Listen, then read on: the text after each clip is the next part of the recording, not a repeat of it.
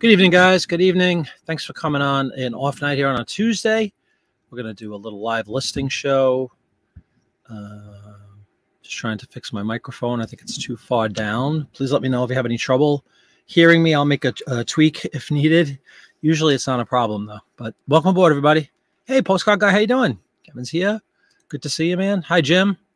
Two Floridians, fellow Floridians. Hey, CJ, welcome aboard, man. As always. Hi, Steven. Thanks for coming in. Hello, Karen. There he is, number two. Does this mean you should work? You're allergic. Yeah. Hey, it's just a, it's a suggestion, not a not a requirement. When I say let's, it's listing time. It's listing time for me. Good. Thank you very much. Doing great, man. Thank you very much. Um, it's very good to see you, man. Blue Feather Ephemera once again on the YouTubes. Go check them out. But great to see you. Thanks for coming in. Hi, Joe. Welcome aboard. What's up, Eric? Good luck listening to eBay service crashing all over. Get out, really? I haven't had any trouble yet. Yet. There he is, Keith. How you doing, man? Great to see you. We'll get into that for just a second in a moment. Hi, Jeff. How you doing? Just wanted to make sure I say hello to everybody. But yeah, Keith. Uh, great to meet Keith. His wife and his mother-in-law came to see my band on what night was it, Keith? Sunday, Saturday, in Cleveland. All I'm going to say, I'm to say two things. It was great to meet them. Uh, it was a lot of fun. I'm glad you enjoyed the show. That's first and foremost. Secondly, the smallest place I've played in probably, like seriously, 35 years since like maybe the late 80s. Really tiny little like uh how would you describe it, Keith? You tell me. Little it's like a, a almost like a punk bar. like a uh, you should have seen the dressing room, the green room down uh next to the stage was like all graffiti all over the walls and lots of nasty things being written. And it's it's rock and roll. You know, it's only rock and roll, and I like it. But man, it, it was just really strange. It was like this tiny little club sort of thing off of a bar. Is the best way I could describe it. So it was uh really strange and um but fun. So I, I'm glad you were there, Keith. It was great to meet you, man. Did you have any storm damage, Steven? Uh oh, what's going on? A bar with a room that has a stage. Otherwise, yeah, look at Keith capsulizing my thoughts completely in a simple sentence. But yeah, it, it, was a bar with a exactly with like a side room that has stage. The stage was actually nice. The stage itself was pretty big, and the sound system was decent. It was just such a tiny room. I mean, it was it was weird for me, but it was still fun. It was what we call it's like a pickup gig. We were out in um, Indiana the night before, and we had a gig in Connecticut, a really nice gig in Connecticut uh, at a theater on Sunday. So sometimes you do these things called routing gigs, which is like, hey, you got to drive from Indiana to Connecticut. You want to break it up we have this uh, opportunity to do this like pickup gig, and uh, that was the one that wound up being in Cleveland, and uh, definitely an experience. Definitely an experience. You don't think so? You just got back from Arizona. Oh, very cool, man. What brought you to Arizona? Yeah, very cool. I'm interested to see what's going on with eBay now. I'm hearing about these uh, issues. If if we have a server error, then we'll just chat away. You know, we'll we'll we'll make do whatever the eBay gods provide to us, we will, uh, you know, we'll act accordingly depending on how eBay is uh, faring tonight. But anyway, how you guys doing? How was the weekend? Um, I know it's Tuesday, but how was the weekend? Uh, I know crazy weather. The bridge thing this morning was unbelievable. That's a bridge I've been over. No, actually, I haven't been over that bridge, but I've seen that bridge many, many times. So, heartfelt condolences to anybody who uh, lost loved ones in that unbelievable tragedy last night, early this morning. Williamstown, Arizona. Went to see the Grand Canyon. Beautiful, man. Was that your first time visiting it? It is quite a sight to behold, that's for sure. What's up, Morris? No issues listing on your end. Okay, very cool. Yeah, well, we'll see it live. And by the way, the count. I mean, that's one of the more funny things you'll ever see. The count in Morris's thing. Good to see you, man. Thanks for coming along. Yeah, we will dive into the uh into eBay shortly.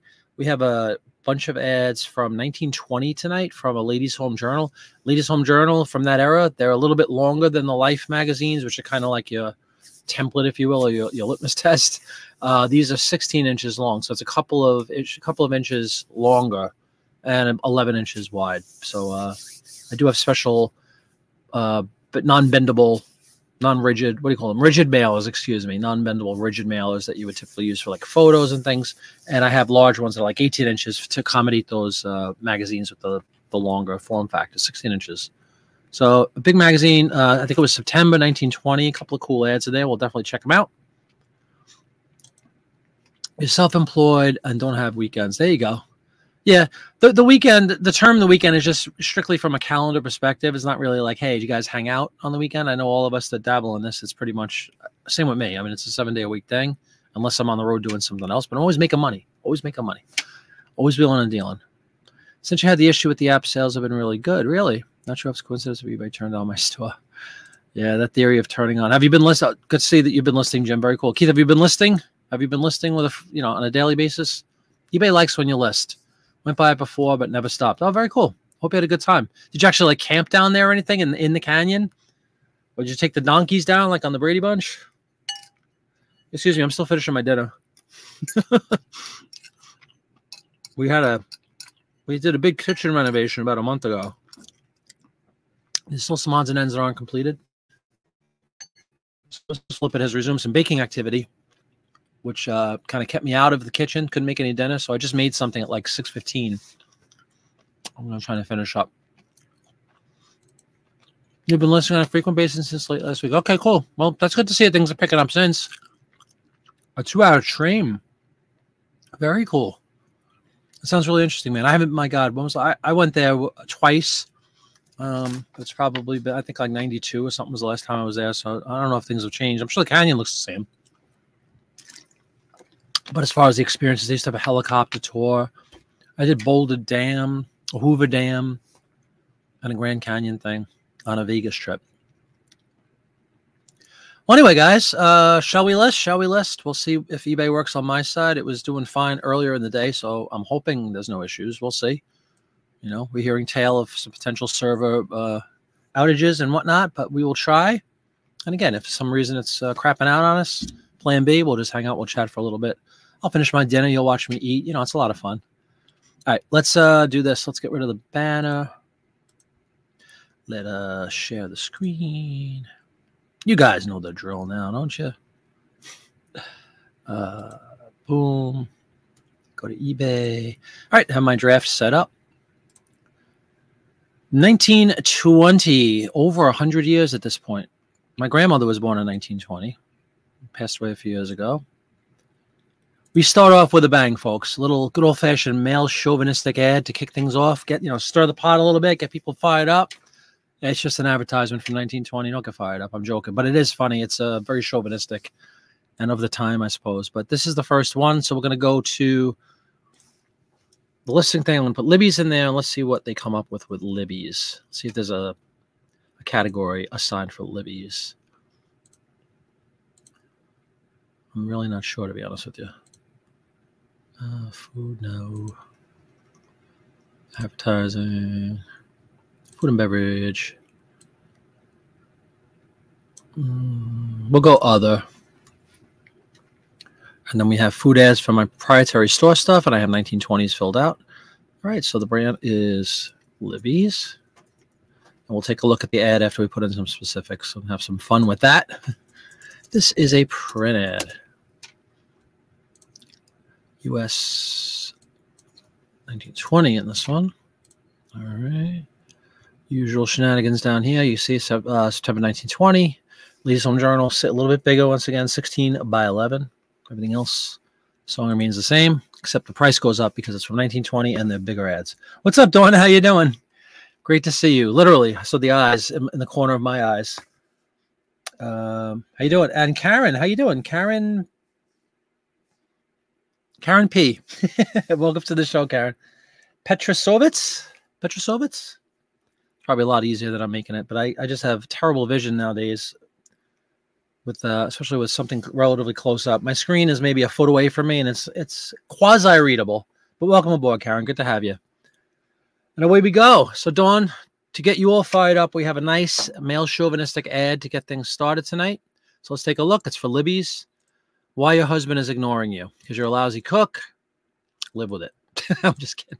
Perhaps this is why your husband doesn't talk to you. A masculine angle on a situation of which many women complain.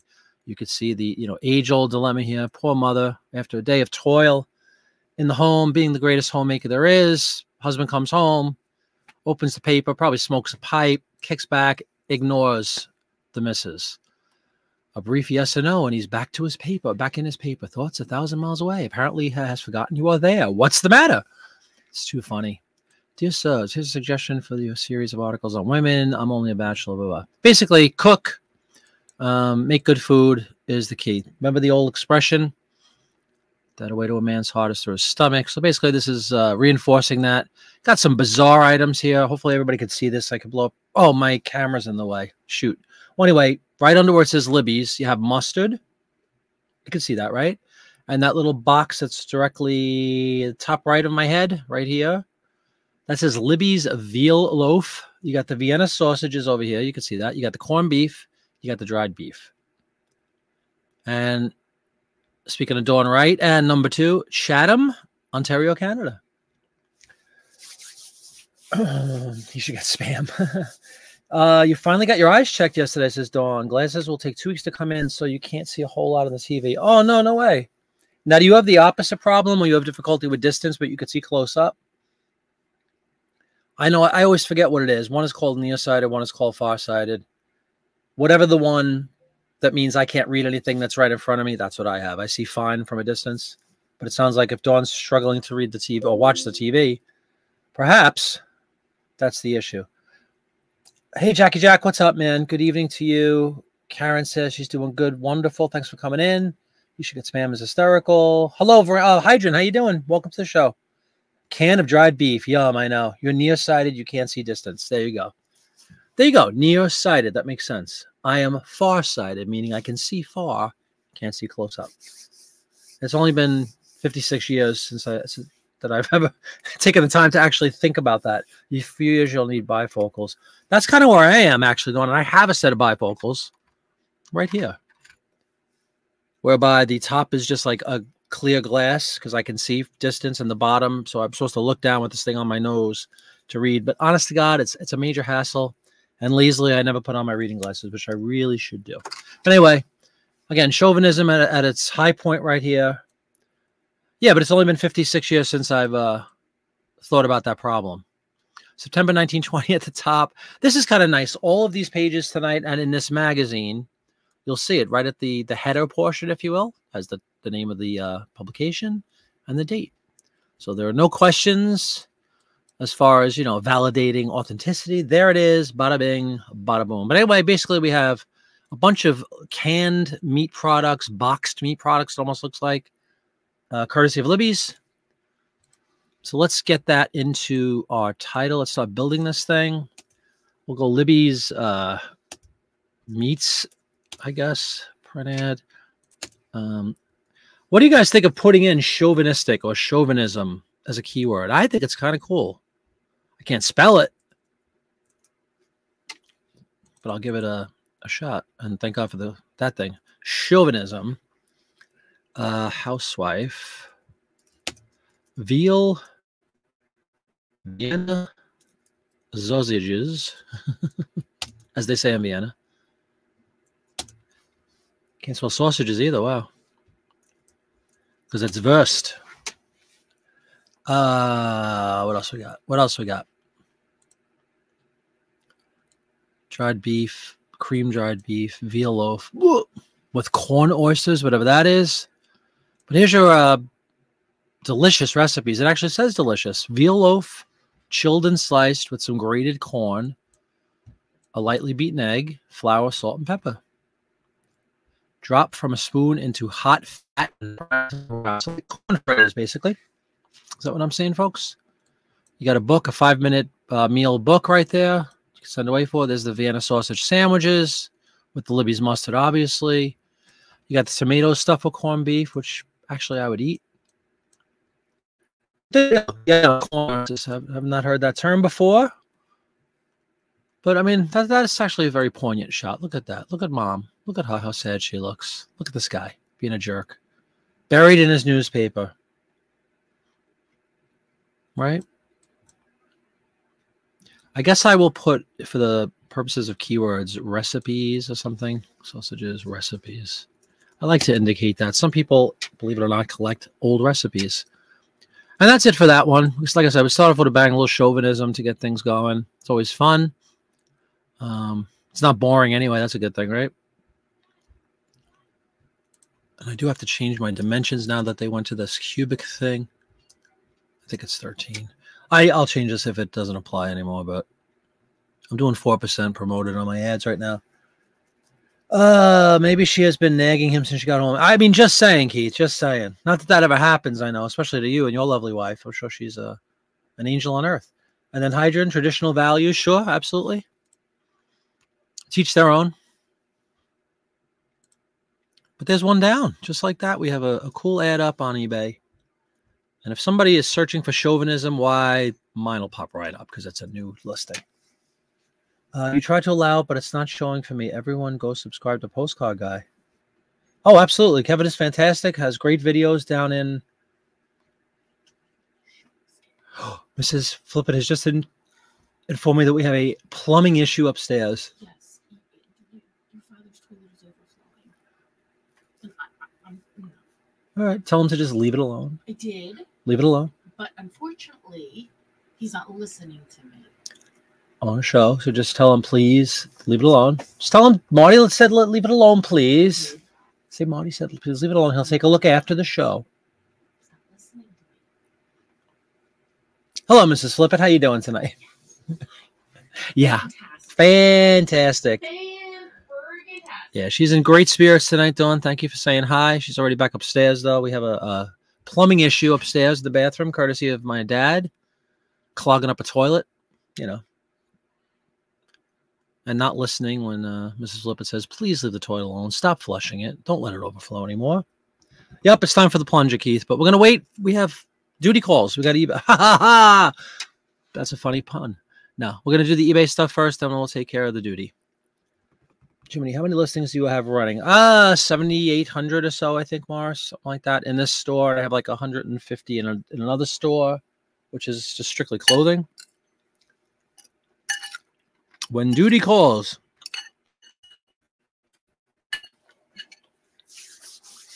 But yes, it's definitely time for the plunger, time for the newspaper as well, says Carl. Very funny.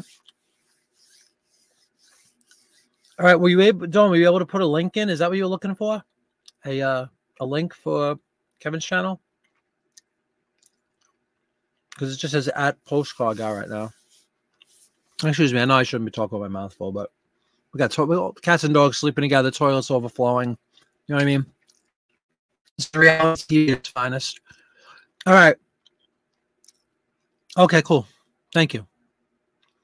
Let's see. Um, where should we go? You can see we have a couple of these um divided in half pages, so they're still 16 inches long, but they're uh, what's 11, five and a half inches wide. So we'll take we'll do those later on. Let's go to this one because this is a, a product that initially I didn't know what it was, and I've sold a couple over the last year or so. So now I am familiar with what they are. It's called Jack Tar. Basically, uh, school uniforms for kids. Makers of school uniforms. And I have sold several of these, so I'm excited to have another one in my possession here for school and sportswear. You see, it says right there. And let's see. I'm pretty sure this will take us right to the what you call it, right to the uh, clothing category. What happened to our trick we used to do? It's not working. Hold on. Remember the trick? You're supposed to click on what's there, go to done, click on it again, and it brings up the thing. It's not working for me though. So let's go the old-fashioned way. We'll just go advertising. We'll go clothing. We'll go clothing. We'll go 20 to 49. Bam. There you go. There's the postcard guy. Link. Go check out Kevin on YouTube. Jack Tar Togs made the sailor suits popular back there. Absolutely, Kevin. You'll see them all over the the little boys with the little. It's like a white square thing on their back, sort of. We'll take a look at the photos. But yeah, they made uniforms and things that. So Jack Tar. I don't know if Togs is the product or if the whole thing is considered the like is Jack. We'll take a look at the at the ad. Let me take a look at the ad and stop speculating. Let's pull it up. I'll go right to the bottom for a minute. And you can see the company, the label of honor, Rub'em Tub'em Scrub'em, Jack Tar Togs. Okay. Charlie Roving Tar, at least. You should know every song ever written at this point, Dawn. You, you'd listen to the entire archive of musical history, recorded musical history of mankind, didn't you? On YouTube.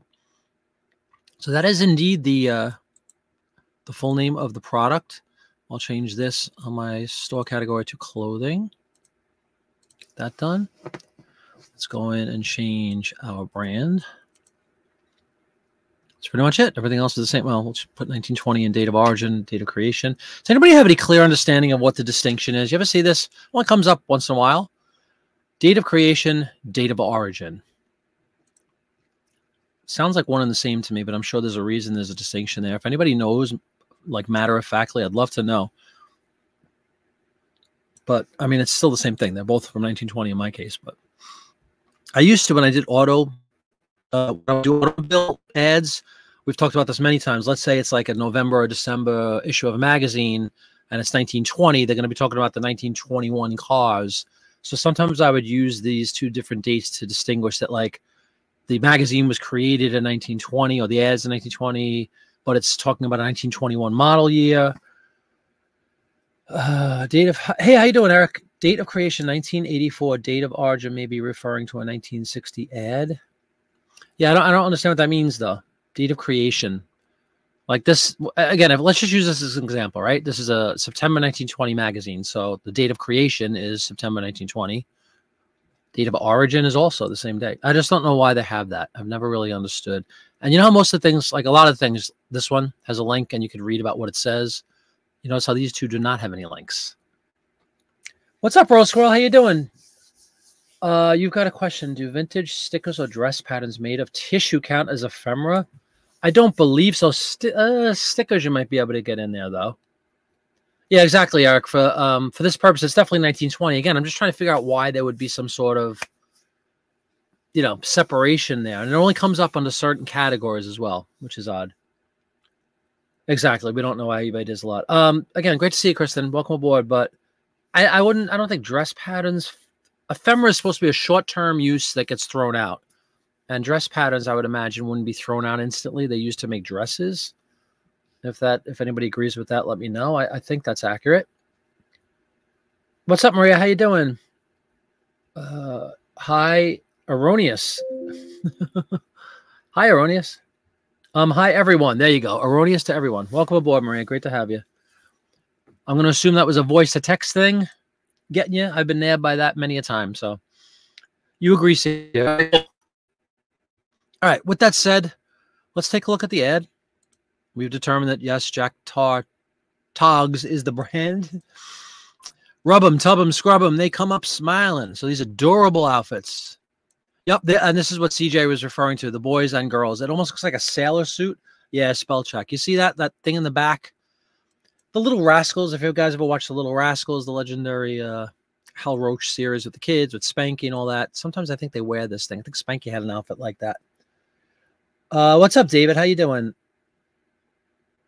Oh, uh, you're saying do print ads, sell and whatnot. They do when I do a whatnot. I don't know if anybody when I started doing whatnots, I think I was the only one doing print ads, and there might be some other people now. I mean, once we started with Popeye and some other folks, we started that um, um ephemerama thing, which has been passed on to somebody else now. I understand, but when when we were doing that, I did print ads. I don't think anybody else was doing print ads. If they did, they were just kind of mixing it in with other ephemera. But welcome to the show, David. Jack Tars were seamen or merchant marines. Ah, thank you. You had a shirt that's like that in the early 80s. Did you really? That's hysterical.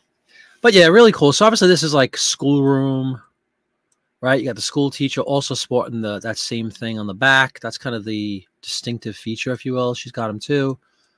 So basically, they I guess they're supposed to be very long lasting, double stitch seam, fast colors, blah, blah, blah. So you can wash them and they won't shrink, they won't lose their color. Ample measurements chosen by mothers who recognize true economy.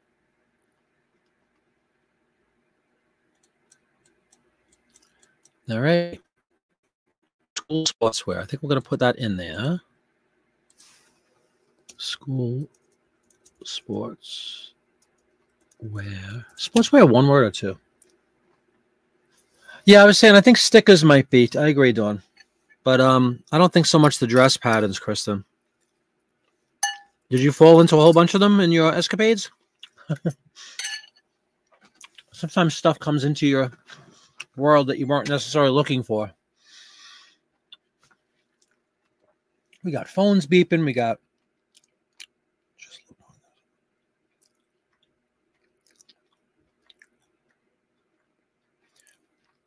Mrs. Flipper with a vulgar text. um, expressing her unhappiness with the goings on upstairs, our plumbing situation continues to deteriorate as we speak. Uh, sportswear, how about like schoolroom maybe? Uh, students, Studenten, as we say in German, students, blackboard, seeing in the dead of night. What do you guys think of those words for this for this guy? Uh, David says, "What's my channel name?" Jiminy Flip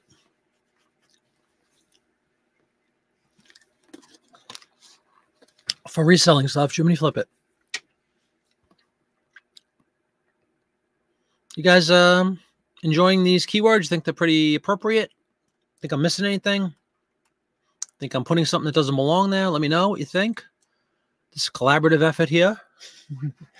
it's a lot of fun uh, hearing people's opinions and Kevin bringing some knowledge to the table, which is always a good thing. Explaining the the sailor thing and the merchant marine. So it's kind of, I guess, obviously, um, that's where the the idea came or the the motivation for this style, why it became popular. The bows in the hair is very of the time too. If not, we're gonna let it go. David recently picked up 10 years of the New Yorker magazine. Should sell the covers. It. I'm sorry, David. Hang on one second. The uh, if somebody else writes anything right now, like hi, just for a second, it'll move the chat up so that I can read the rest of David. There you go. Uh, you recently picked up a 10, 10 years of the New Yorker magazine. Should I sell covers and ads or complete magazines? I'm always, anytime you ask me about that, it's going to come down to, for me, it's always about the ads. You know, I would argue that any magazine virtually on earth, you could get a whole lot more for the individual ads than you can for the whole magazine. Um, there are there are some valuable magazines. I'm sure there's exceptions, but the gra- the vast majority of everyday magazines you'll make way, way, way, way, way, and I mean hundreds of times more than you could make selling a, uh, a nondescript issue of Life. As an example, exactly as Dawn says, get the scissor out, carve them up. Yep. If you want to sell the covers independently, that's fine. I've I've actually it's interesting you said that because this very issue that we're working with, uh, Ladies Home Journal from 1920 I have been keeping the covers if they are salvageable because some of them are kind of ripped up. If they're salvageable, I've been putting all the covers of these like uh, maybe up to like 1929 and prior, and I'm just kind of putting them in a pile. I have a nice pile, and I think I'm gonna um, make one massive listing with like a whole bunch of ancient, you know, hundred plus year old um, magazine covers and see if there's any interest in that for crafters or whatever. I'd probably get good money for it. So that's a little tip for you guys. If you have, if you have, like I said, if it's a a decent quality um, cover. Although some people like to stress stuff, like we talked last week, but you know, reasonably good shape covers for these really old magazines. If you want to just like keep that on the side and let a pile build up, I think it's a, a cool idea to just sell it as like a lot. I, I probably have over a hundred already in mine. I don't know what number I'm looking for, but I want to make a lot of money on them. I just basically make some big old lot of old, uh, very old magazine covers. Uh, 80s era sell. Thanks for the help. Oh, you're very welcome, David. Yeah, I would imagine every era has something appealing to people. You could probably sell something from a modern magazine. You know, um, advertising is advertising. Um, 80s, you're going to have a lot of, you know, the Atari stuff and Coleco and, you know, video game things and Walkman ads. And uh, was 83 or so, 84, you have the Michael Jordan stuff coming in and the, so yeah, I'm sure there's a lot of very appealing stuff for, for collectors from the 80s as well. My newest magazine so far that I have is 82, is my newest one. But you're very welcome. Uh, you'll keep them a pile of subscription cards. You have 200. Yeah, the subscription cards another thing. It's funny you just said that. I just sold a Doug, right? I'm sorry. I think you said your name was Doug. Blue Feather, I'm sorry. You told me last show. I'm pretty sure it was Doug. Um, yeah, I've done the same thing. I've I don't have 200, but I've made little bundles and sold them. And I just sold one independently like a week ago. But that's a good idea too. The little subscription cards that come in mag, not just Life, any magazine, you know, to get a free year of whatever it is, or pay for a year subscription. They're usually somewhere in the middle of a magazine. They're usually in really good shape too, because provided the magazine's in de- decent shape, it probably hasn't been opened in eons. And those little uh, those little things do pretty cool. They they could sell. So good tip there from Doug. Greg, good tip from Greg. I'll never forget that again as long as I live. Sorry about that, Greg. Um, Eric, there's a sellers who list the cover if the address label is not on it. Yeah, because buyers I think they're getting the full magazine. They don't read. This is true. People don't read on eBay, especially. It's it's an epidemic. It's pathetic. I would I would argue, but yeah, that's why I think I might get away with if I say a lot of vintage. You know, not a space lot as in a group of. Um, very vintage old magazine covers. Maybe I'll get away with that. But I could absolutely see that be a, a you know potentially see that being a problem. You put up a, a really cool cover, people think they got the right the whole magazine. I agree with you. Vaughn says, and ha- welcome to the show, Vintage Vaughn.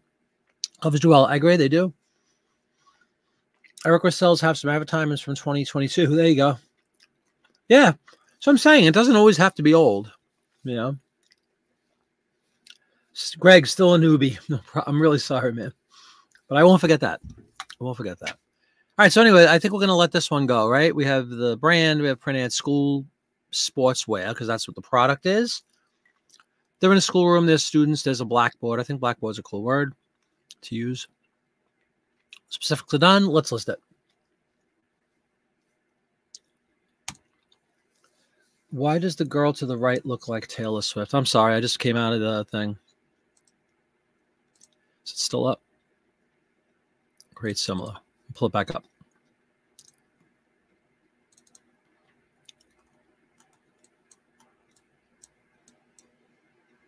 This girl or this girl? There's three girls. this one, this one, or this one. This one doesn't.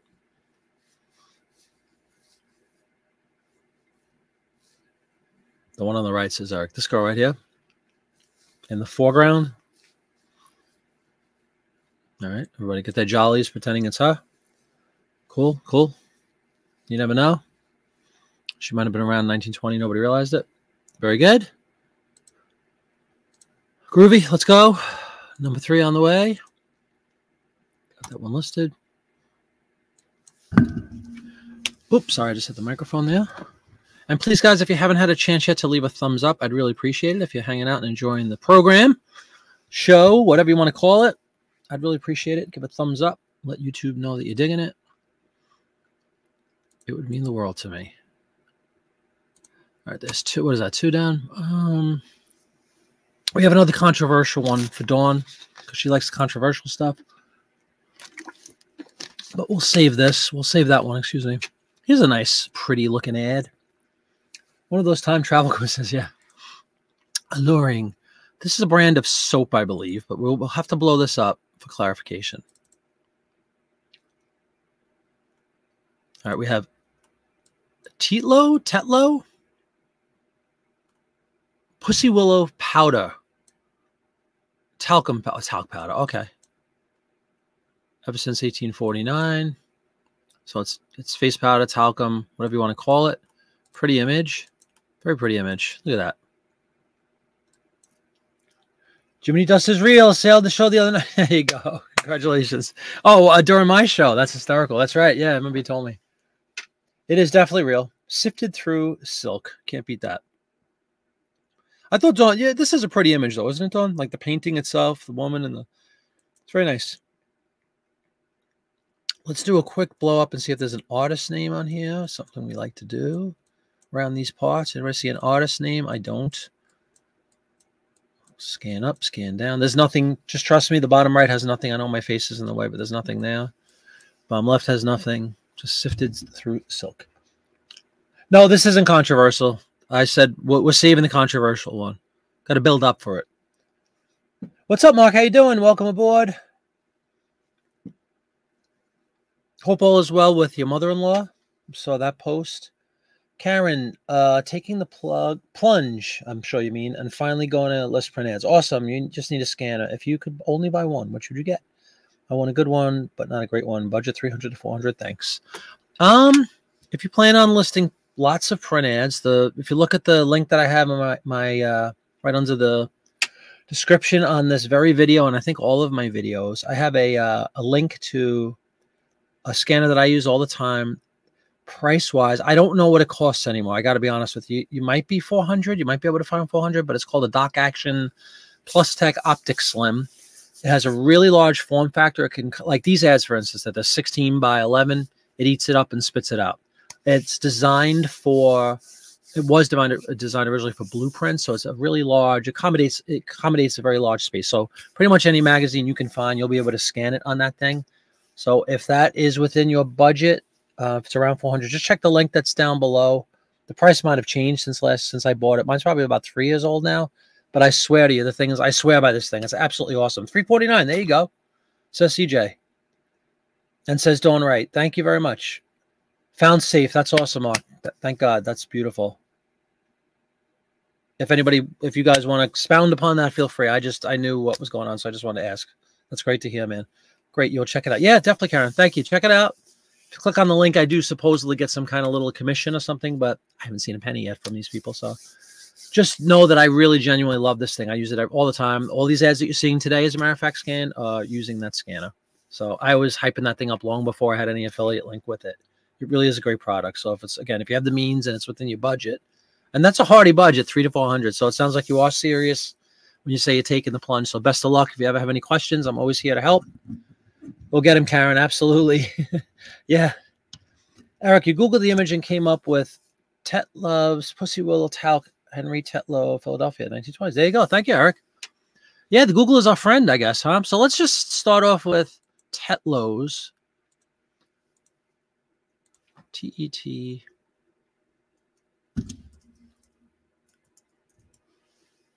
Of course, I put Vetlos for my Slavic friends. Tetlos, which of course comes up with a spell check. T E T L O W apostrophe S. T E T L O W apostrophe F. Well, uh, use your phone for the larger ads. Still much to my chagrin. Well, that's not to my chagrin. Do whatever works. I I could care less. I just I really like the scanner. I love my scanner. I used the phone too for a couple years when I was starting out. It made made my life. I actually the first thing I've talked about this before. The first thing I ever used was my regular printer scanner, which is like eight and a half by eleven, and I would do the top half on one scan and the bottom half of, on another scan, and that was my listing with two kind of a top half and a bottom half. And then I started doing the phone thing like Dawn talks about, and then I found this. I was looking for a scanner for ages and finally found that one that's why I was so excited to share it with people who who would find value with it. It's a fantastic product, truly. Knock on wood, never had one issue with it in uh, three or so years that I've been using it. And I use it virtually every day in some capacity. Also, it's great for records. I've talked about this. You can fit like a whole record cover on there, which really makes for great presentation. Not many people who sell records take the time to take really stellar photos of the covers and stuff. So uh, again, little edges. Uh, I sell 78 records. You could do, you could scan the 78. It looks great. It's even. Um, Karen, use your phone for ephemera, but you have a lot of ephemera magazines. Record sheet music, yeah. You could, like I said, records, sheet music, of course, fits on it. Yeah, anything you could fit in that space, you could scan. That's why I really like the product. So what you were saying is, if you could pick one, you know, I have a duplex scanner right here to my side, which works great for postcards and smaller magazine ads, like an eight and a half by eleven magazine ad. I could put into the duplex scanner. That's that's a lot faster process because it just feeds continuously if you don't know what duplex scanner does. And the scanner that I'm hyping up is just a traditional flatbed. You have to lift the thing, put the ad down, close it, hit scan, repeat.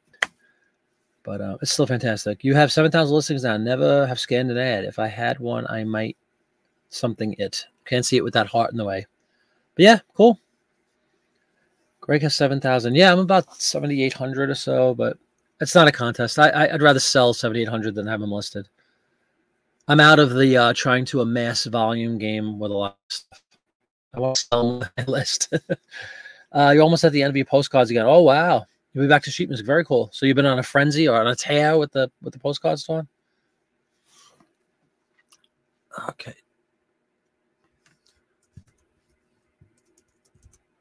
Talc powder, right? Talcum powder, should we put? I think we'll put that. Let's see what that comes up with as far as a category.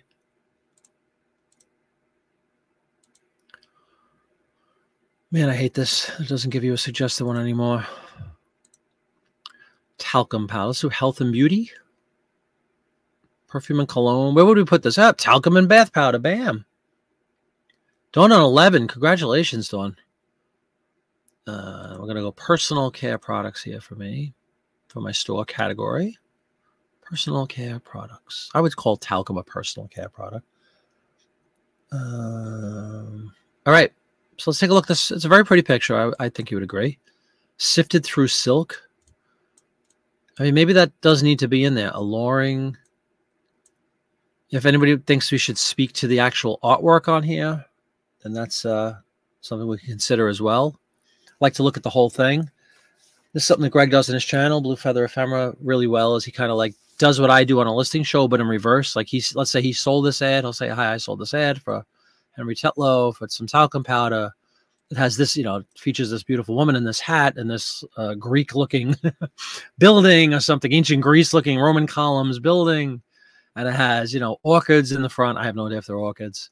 So I think that's really cool the way he, he goes into detail about a specific ad after it's sold. But we're kind of doing the reverse when we list them.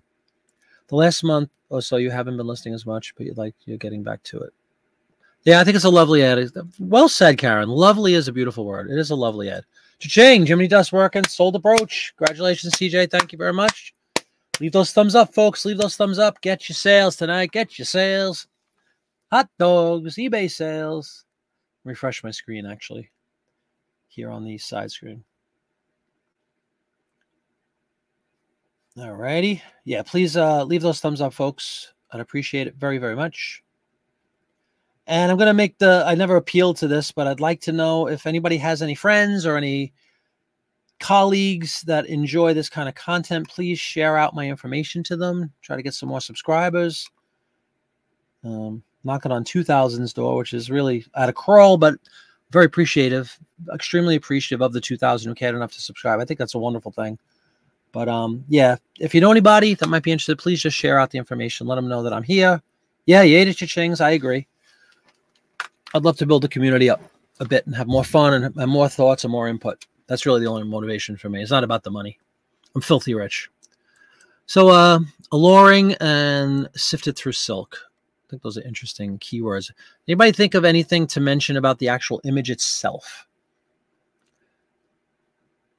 And Dawn just sold a postcard. Congratulations. Everybody's kicking butt tonight. I love to hear it. I love to hear it. I love to hear it. Lovely. How about lovely lady? There's a powerful, potent couple of words right there. Lovely lady. Yeah, 11,000 is an unbelievable number, Dawn. Way to go. I hope it means you're selling a lot more. Your wife subbed this morning. No kidding, CJ. Thank you very much. Appreciate it. That's right. I'm a Beatle. I'm rich. No, thank God for Beatle gigs. I'll just I'll leave it at that. Unless you're playing in Cleveland in a bar, that's not so much a rich thing, but it was still fun to play. And I got to meet Keith and his family, so mission accomplished. All right, lovely lady. Uh, does anybody know what kind of flowers these are? I don't know if they're any specific flower. I think they're just kind of a color scheme. Romantic would be a good keyword, says Hydron. There you go, Dawn. So mission accomplished, right? Uh, dang, too bad you missed your show in Cleveland. Oh, really? Sorry about that, Eric. Yeah, we just played on Saturday night. I think it was.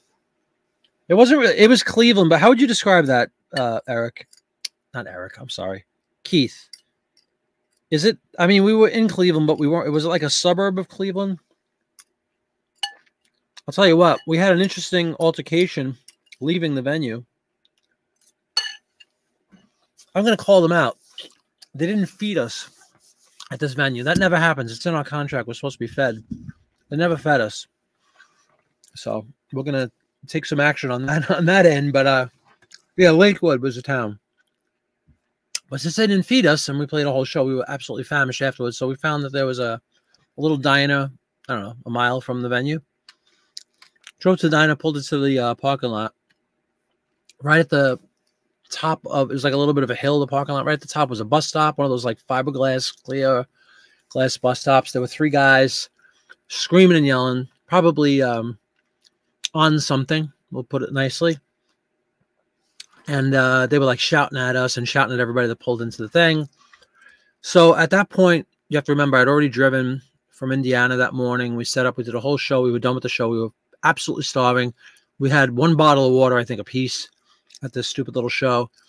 Um, and now we pull into a parking lot for a diner and we're getting harassed there and people are screaming and yelling. It was just a, a nightmare. Let me go into the diner.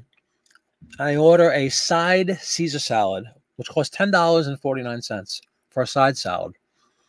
Interesting, interesting. I don't know if it was Clifton Diner. It was a dump, though, Keith. Quite frankly, it was a dump.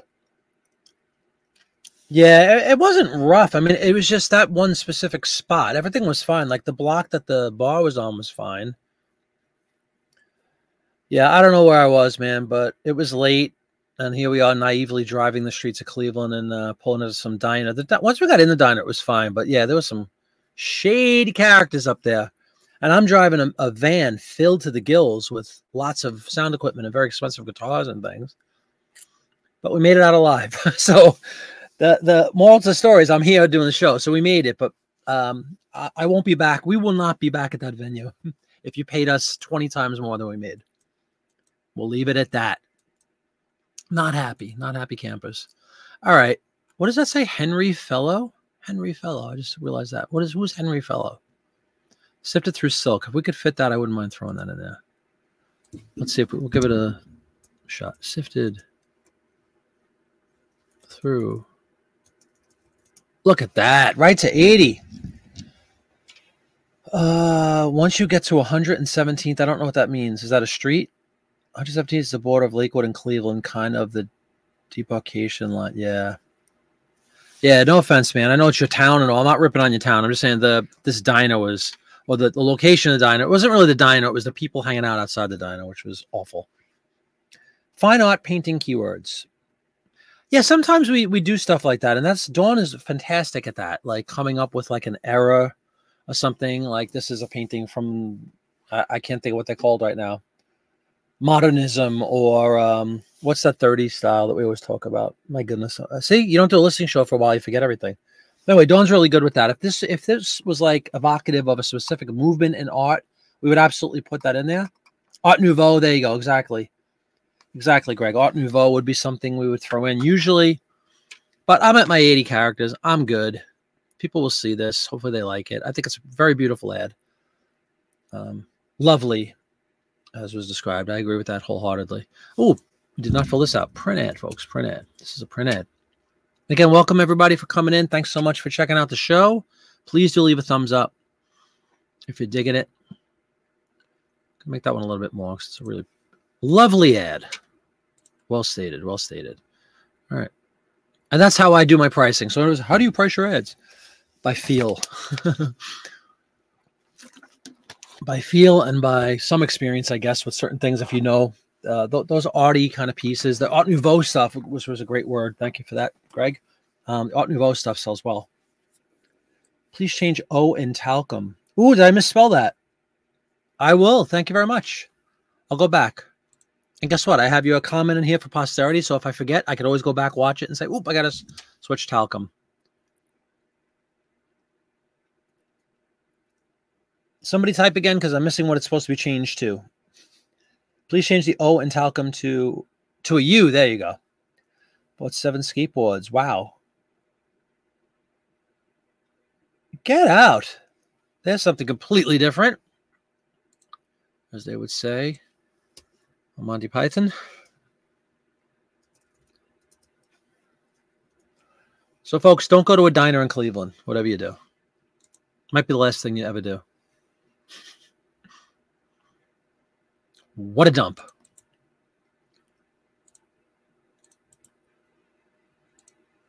All right, so those two, I forgot to delete the Libby's ad. Let's see. Your star is unique. No, that's pretty cool, man. You, you see something good, right? You might be into a specific niche or something, but you ain't no fool. And when you see something that you could flip for money, you do it. I'm, I'm the same way, absolutely. Like computer stuff or computer, uh, the gaming system years ago that I sold and parted out for like thousands of dollars that I bought for 200 in a state sale. Old Coleco computer. Karen feels so much better. Well, that's all that matters, Karen. Thank you. Knowing you feel better makes me all warm and fuzzy inside. All right, here's a cool ad. This is for an Edison, as in Thomas Alva. For those, those who don't know, let's pull that one up. This is what we're talking about. This is the new Edison phonograph. The phonograph with a soul. Look at this.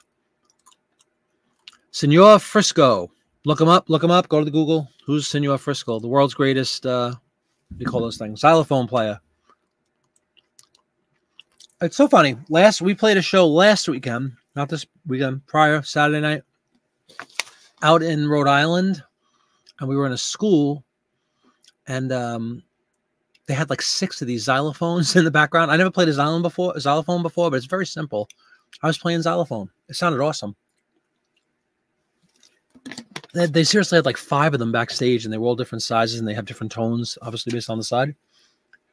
And Eric's been dumpster diving free to free to cash. Yeah, absolutely. Mrs. Flippett used to du- uh, do dumpster diving in a Barnes and Noble, which was the most pristine um, garbage thing you'll ever find in your life. It was just old magazines, literally old magazines that they threw out when they had to recycle and put new issues in. It wasn't old; it was like a month old, and they would just throw these things in perfect condition into this like uh, dumpster you could eat out of. Seriously, it was so clean. There was nothing in it but paper. And Mrs. Flippett was known to dive into one or two of those. So we have an Edison phonograph up for your consideration right now. Inventor of said phonograph, so it's only right that he has his own brand. Edison phonograph. Not even going to try. We're going to go right to collectibles, advertising.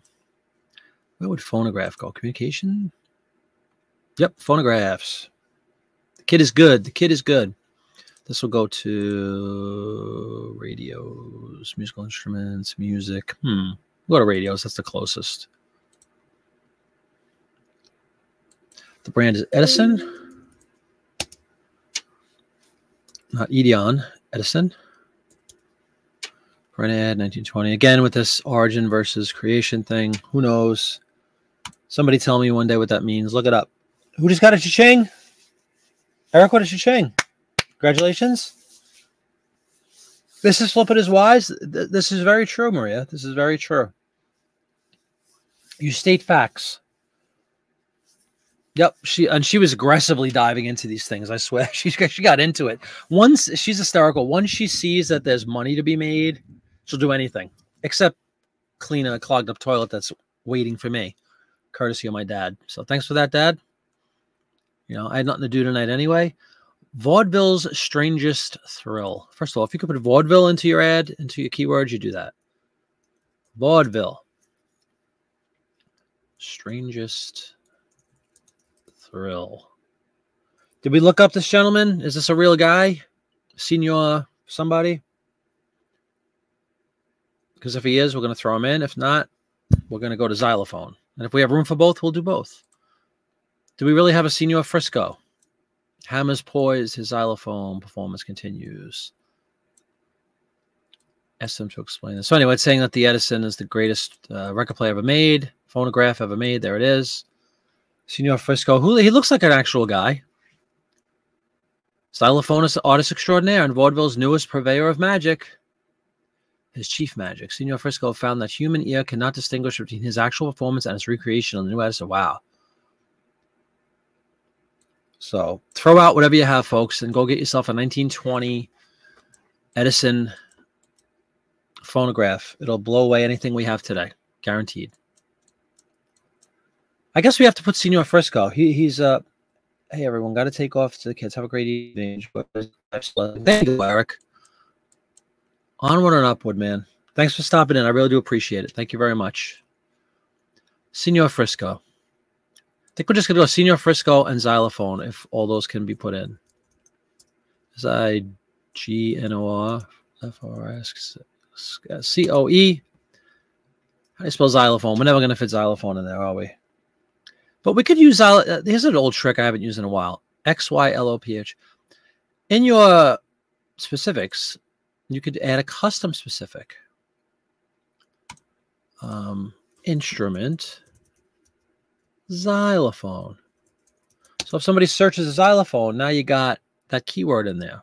So if you don't have the space in a title, that's a nice little trick. You could add a custom item specific. It's a fact that searches are a combination of keywords in your title and some of these things. I've done testing to that effect. A lot of people have. You can put a certain word in one of these fields that isn't present in your title, and if you go and search it after a period of time, let it let it propagate and all, you'll find that your listing comes up. So never underestimate the power of these specifics. And if needed, like I said, throw this in. So I have instrument xylophone as my uh, my custom specific, and let's see, because I couldn't fit xylophone in here. But that's a nice looking ad. And again, I don't know who uh, Senor Frisco is, so let's you know what we could do. I have the Google here. Let's see who Senor Frisco was. We're gonna assume he's a was because it was 100 years ago. He'd be about 140 at this point if he's alive. And of course, you know, nothing better than when you look up Senor Frisco on Google and you just have a spinning tab with your uh, gigabit gigabit data, which isn't working right now. So never mind that. We'll go back to that one. Did I hit submit on this one, folks? That's okay, Dawn. I'm still eating. I've been eating since right before the show started. It's nice and cold now, but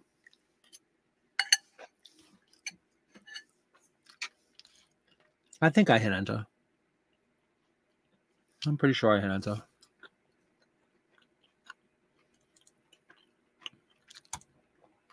Let's check. Let me get out of this for a second.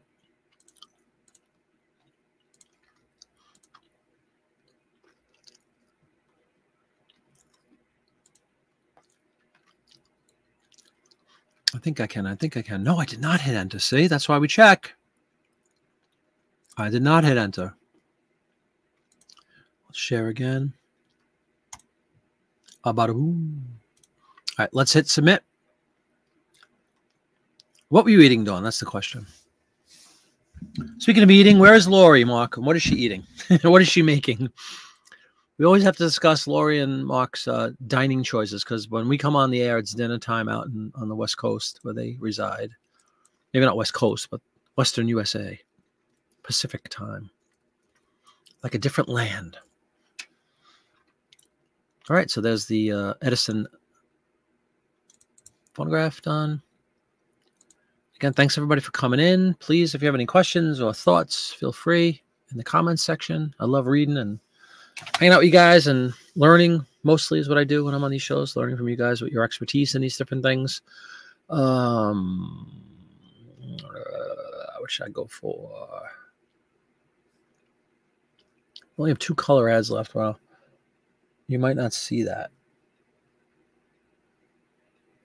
Uh, turkey. Yeah, I did. I saw it on the. Uh, I see it on that one, Dawn. Yeah, it's a turkey. Very cool. Hey, Biff, how you doing? Checking in late. No problem, man. Welcome aboard. Thanks for coming in. She's picking up your knee brace, meniscus tear surgery. Oh my God. Hope you're doing all right, man. You had meniscus surgery and you're already home. Wow, it's like a an in-office procedure or something. You're out in the same day. What do they call that? Not an office. You know what I mean. I hope you. I wish you a very speedy recovery, man.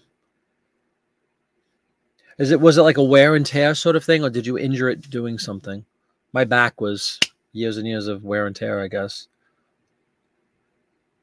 But th- for those who are wondering and keeping score at home, my back is uh, healing nicely. So thanks for uh, again early on when I had the surgery. It's been over a month already, which is unbelievable. But we're getting used to it, and you know, I had the little road trip here for 40 days or so, and did I think did five or six shows already since the surgery, and I'm feeling fine playing. I can't look at this my boys, my roadies, which I got to admit is kind of nice being able to just walk in and everything's set up for you already. it's kind of nice. But I do the driving, so it's a we we all help each other. Keith, you couldn't even tell you had surgery during the performance. Oh, thank you very much, man. Yeah, I feel fine now. Like as far as like I could stand, I could do all that. Um, during the performance, the only thing you didn't see was like the whole stage was set up. I didn't do any of the setup.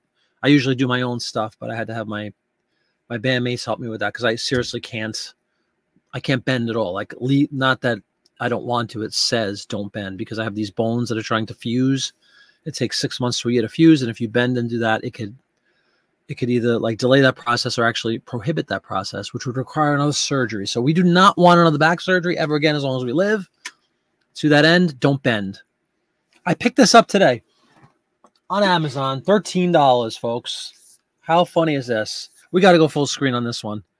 Mrs. Flippett said, What the heck is that? Let me just save this a second and we'll go back in. I was getting frustrated because I can't bend for anything, right? Literally drop a sock on the floor, I can't bend. And it's again, it's it's like human nature. You just go to pick it up, and I really hurt myself. on Amazon. Trigger pickup thing. Boom. I could drop socks till the cows come home now. Boom. Is that not hysterical? This thing is fantastic. 100% genuine plastic.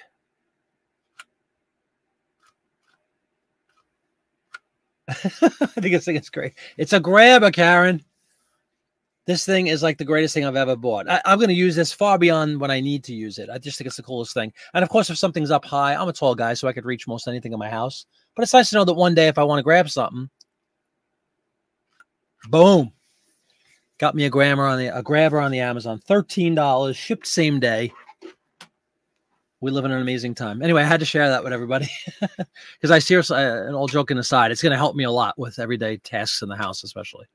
It's not going to lift a guitar or an amplifier, but for every day, sock on the floor, oops, I dropped, you know, my, my medicine bottle, whatever, it'll it'll definitely do that. So that's a lifesaver for me. All right, back to the festivities. Okay, okay, okay. What's up, Mark? How you doing?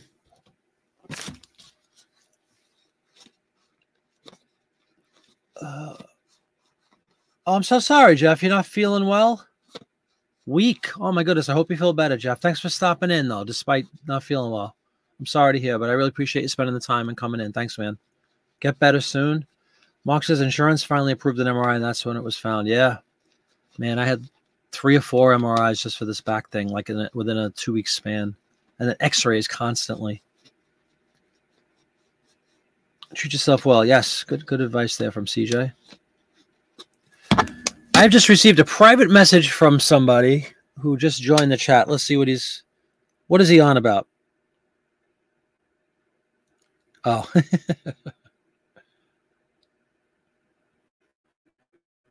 That's hysterical.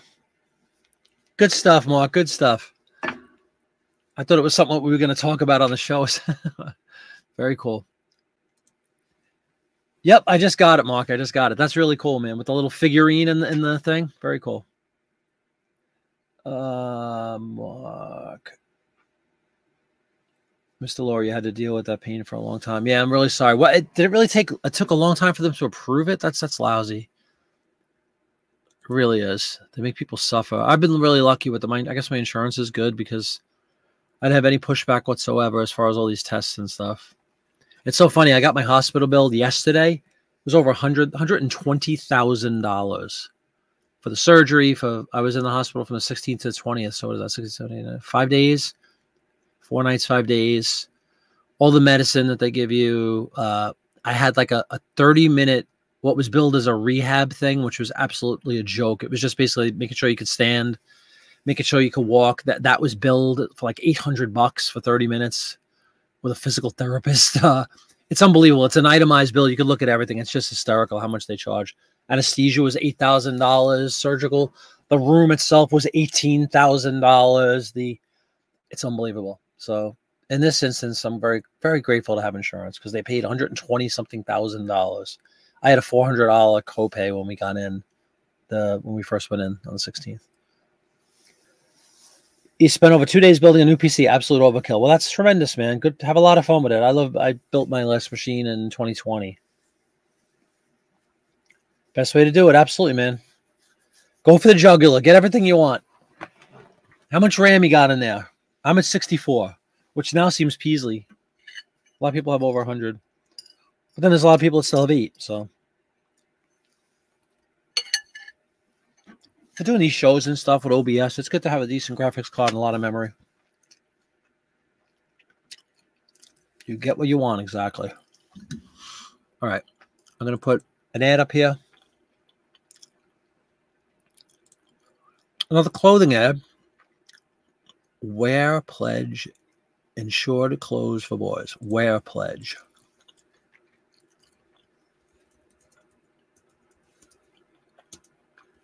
Boys' clothing.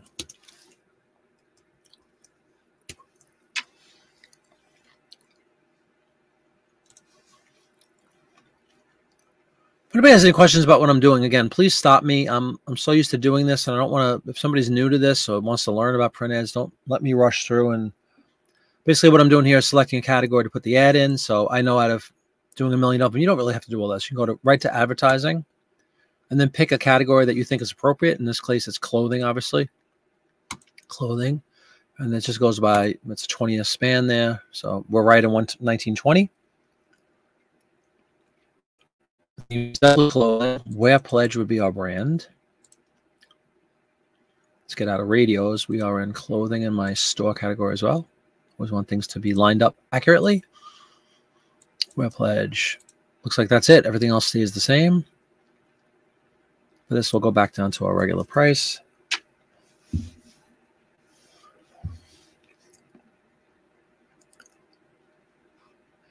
What? Look at Dawn with a t-shirt comment. Today's overkill is tomorrow's adequate. Well, well said. And incredibly accurate. All right, we have this cool schoolboy clothing maker known as Wear Pledge. You can see that, you know, when Junior wants to fish in the fishing bowl, which is kind of funny, or kick a football or rugby ball, whatever that is. Of course, he's or read his Tudor Jones book. Of course, it's going to be Wear Pledge. Uh, you built one years ago. You underpriced the wife. Question: You better stuff in it. Yeah, the, the thing I love is I could always just upgrade my stuff too because I'm at 64 gigs and like everything's working and purring like a kitten. So it's hard to believe. In June it'll be four years already. But things, you know, you treat it well, it treats you well. Why is that child terrifying? He's enamored by his book. Insured clothes. I wonder what that means. That term means. Style is the very essence of these boys' suits. Also, their suits and overcoats presented in a parade of models. Exceptional quality. Every youngster in the American Legion of tomorrow. Maybe that's a keyword, American Legion. I used to play American Legion baseball. Was like a uh, semi-pro men's league. He looks like a doll. All right, so what are we dealing with? We got insured clothes for boys. I'm not going to put insured. He's reading Tudor Jones, published by the makers of Wear Pledge. So I guess we'll put that in. Um, boy reading Fishbowl football. What else? Book. How about boy reading book? Telling Lori, uh, that's historical.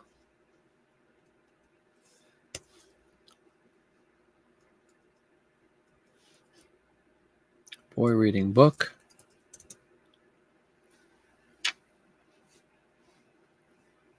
Rootinous, tootinous, fighter in the West. Bam, that's that one. Start listing like reality. It's usually like a 10 second process for me. But I have fun going into details and stuff with everyone. I think it makes for a better experience watching YouTube. I wouldn't want to see somebody just race through listings. I could do that myself. We'll do one or two more. Uh, a little over an hour now, and um, I have a, a, pleasant surprise upstairs that I have to deal with in, in, the plumbing space. And I'm sure my wife's losing her mind that I haven't been up there yet. But again, I have obligations. So, uh, what should we do for the last one? Let's do this one. It's another attractive looking little ad here. Lovely ad. This one I will say is slightly smaller. It is 15 by 10. Why is it 15 by 10, you might ask, Jiminy Flip Why is it 15 by 10 when everyone 16 by 11? Well, you see, see how trimmed it is? And it's not, this black border exists on the right side too, just to come out and scan. This is one of those examples of an ad where the outer half inch or so around, maybe a little less, maybe a quarter inch around was really frayed and nasty. So I trimmed it off preserving the actual content of the advertisement completely. Again, this is a poor scan. I don't know why this is cut off, but this black border exists around all four sides, and there's maybe like an eighth of an inch border. So with that said, it's a little bit small, and you know, being truth in advertising always being one of my uh, my goals. This one is a 15 by 10 inch ad, when all the other ones are 16 by 11. So we lost an inch. And this is Nashua Woolnap Blankets. Nashua. Wool nap blankets. This screams of a wool, not wool. Weird combination of words I'm not familiar with, but let's just go with it. Uh, we'll put this in housewares most likely. Household. Home decor. There we go. I think sheets kind of match that, don't they? And then for this, I'll do my, this is houseware, I think it's called. Household items. Sure. Wear pledge. This is Nashua. I don't know why I'm saying it that way. I just think it sounds funny. Nashua. It's a print. 20. Okay. And it's 15 by 10, a little bit small. We'll do the same pricing. So let's take a look at this final ad of the evening. We'll do some more. I have this is um how many do I have left? I have 10 left, right? So we'll have nine left after the show. I only went through maybe 30 pages in this magazine, so there's plenty more ads. We'll go through for the next listing show. We'll continue with this magazine. I'll save some of these scans for the next show. But anyway, let's pull up the uh, blanket ad here. Kind of uh, you know, you got mother once again, household, doing the laundry as mother does. Light as a feather, warm as feathers. You see down here is actual company uh, Amory Browne and Co. out of Boston. Lancaster Calborn Ginghams, Indian head cloth, 16 by 20 inches. Oh, you get a doll blanket. There you go. Send 25 cents in coin for doll blankets, size 16 by 20 in pink or blue border or plaid. And they give you size dimensions for the different types of blankets, but it's basically just a nice uh, blanket for your household. Gingham is a keyword. Ding, ding, ding, ding, ding. It says gingham. Artist sign. Good question. We always look for that, Biff. Something is that I don't know if that's a signature or just supposed to be part of the design of the bed. I think it's the latter. I don't think that's a signature unless it says like FS. If anyone wants to take a look at that, oh, you can't see it because of my stupid picture. Can you see that? Yeah, you can see it now. See this? It either says FS or it's just some kind of um like part of the the the artist rendering of this bed. I'm not sure. Biff Biff is airing on the side of signature. So anybody look that up? FS 1920. And we will put Gingham in by popular demand. I have no problem with that. Gingham. Thank you for that. Looks to be a signature you. Yeah, it could be, could be.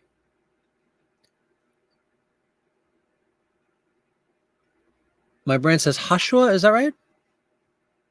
Uh, the way I typed it. I'm sorry. You're right. Nashua. Thank you very much for that. Thank you for that. Nashua. See, typos will get you. No, nobody's search, searching for a Hashua. Looks like it's okay. If you guys want to have at it, and look for somebody that's.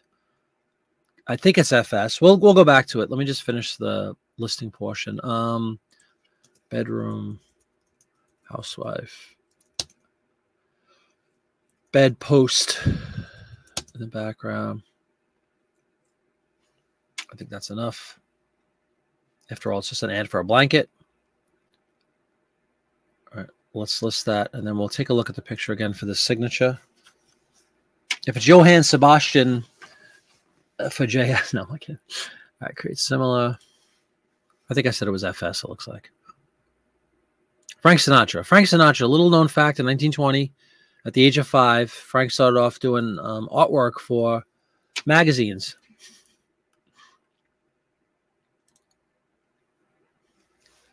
Boom. Drafts are done. Come back in. Uh, get rid of. There we go. Thanks, everybody. I am back. Now I could go back to the main screen and look at the comments. Looks like a signature. Keith says maybe you can attempt to fix the toilet with your grabber. That is disgusting. I would imagine so because wool's in there. That's a good point. We could put wool as an a as a uh, uh, keyword specific as a personal specific. What do they call it? The word I just used earlier. But good question.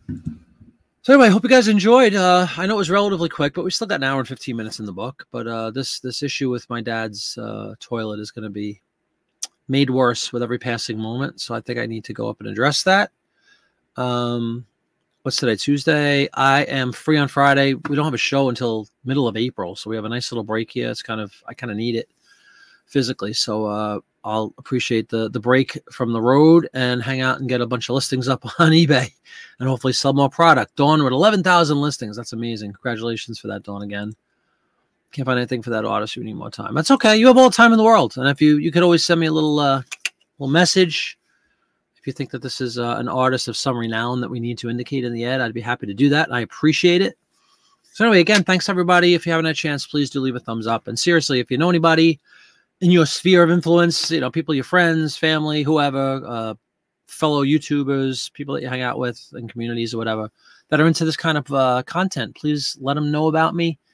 Um, ask them to subscribe to the channel. I would greatly appreciate it. So I'll see you guys on Friday. We'll do another show. Maybe we'll list again we'll finish up some of this magazine. I'll scan some more of them because it's I love the old magazines. They always have some really interesting stuff as we kind of saw tonight. So again, have a great week, everybody, and I'll see you on Friday. Peace and love. Good night.